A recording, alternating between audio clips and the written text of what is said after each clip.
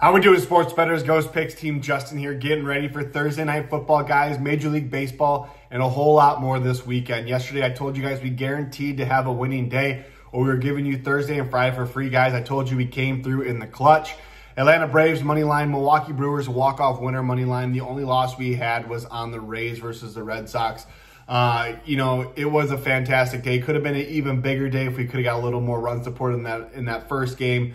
But we had a one rocking chair winner, one walk-off winner in the bottom of the ninth, and overall another winning day. Five units on the board for Team Justin. We took home yesterday, uh, and you know that's never a bad thing in my opinion.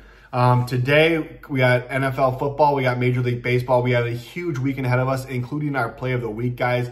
All plays all weekend long. $60, guys. Head over to the Ghost Picks ATS website, select Team Justin.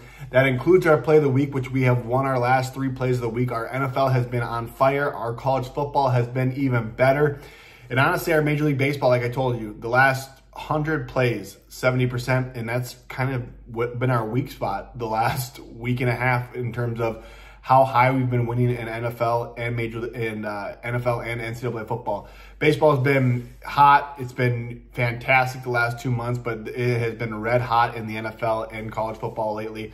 Um, we had our under winner in Monday Night Football. We went two and one and three and one in college football, respectively. Had a play of the week winner in college football uh, last week, and we're going to go ahead and absolutely dominate this weekend once again with our play of the week still to come. And you guys can get everything for sixty dollars head over to the Ghost Picks ATS website, select Team Justin, guys. Do not miss out on this.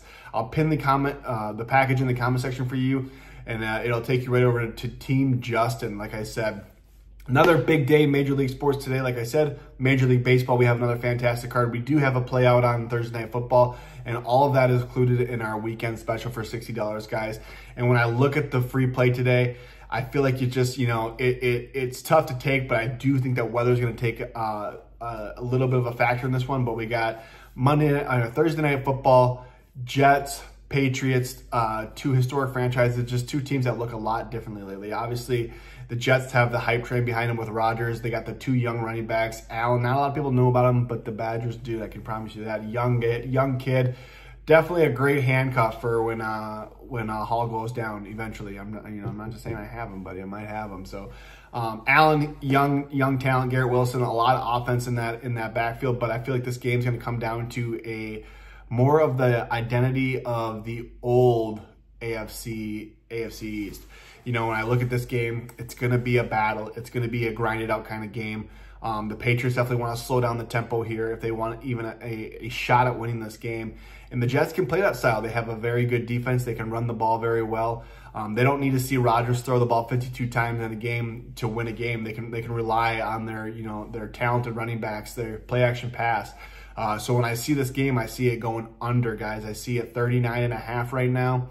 Um, I do. I think this game's going to be a low-scoring game, kind of like what we saw out of Monday Night Football. Um, it might get a little a little sweaty there at the end, but I just I feel this game's going under. It's not going to be a rocking chair by any means, but I do I, I like taking the under here, and that's where we're going to go ahead and uh, head out with. So taking the under. Jets, Patriots, 39 and a half, guys. Get on board Team Justin's full weekend. Another banging day yesterday. Good luck. God bless. Grind on and let's go.